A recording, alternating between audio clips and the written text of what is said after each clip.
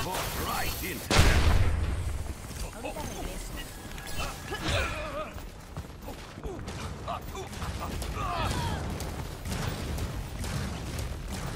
me.